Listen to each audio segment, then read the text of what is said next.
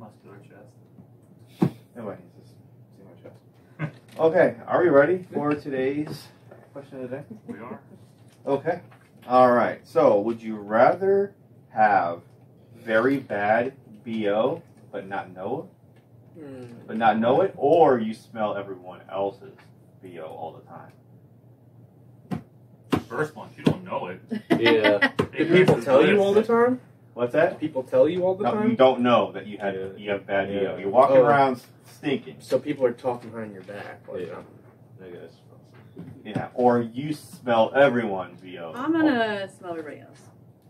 That's if they have it, or it's like guaranteed everyone has it. They have. Everybody, Well, everybody has, has it. a smell You just anyway. can't smell it, but you can. Yeah, because you mask it. You, you guys take showers and put deodorant on. But for this question though, is you can smell it, and you can smell everybody's. If everybody Uh, has it, nobody has it. It's just the norm. It would. Yeah, I mean, but, that but is only true. you smell it though. You gotta. You get used to it. I uh, I'll do the one where I the first one. So you walking around and everyone thinks you stink, but they're not telling you. Yeah. I don't know, man. I I don't think of it. I'd probably go with the second one.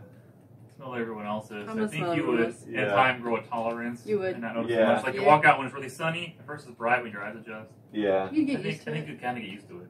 right. If everybody, if that's what You, you always did, and then nobody could tell you, and they're always talking behind your back, like, oh, that guy. Yeah. Like, You're gonna be disinvited to things. People aren't gonna want to go out to dinner I with don't want to sit in you. the car with you. They're not gonna want to go to lunch with you. Yeah, it's But true. you're not gonna want to get all the people that you can smell. If you You get, get used, to, it. Uh, You would. It'd be like 14th century in here. I don't think you get used. I worked at the gas station, and there were customers that I knew once I saw them. I was just like, Oh, I had the saw what they're gonna Febreze ready, and it was just. I do know those customers. Just, I'm with you, but I just don't If think it was it's a constant smell around you you, can though. get used to. you I really, can smell yours. Is, I just do that because it, it, eventually, it's like when you you don't you don't actually like your car and stuff. hmm You don't know what it smells like. Your But if I got in your Yeah. car, Even I your can smell house. the difference. Not even if it Yeah. smells bad; it just has a smell. You can't even. Yeah. Yeah. You just get accustomed to it. Mhm. I'm gonna go with this number two. I don't want For that people talking reason. behind my back.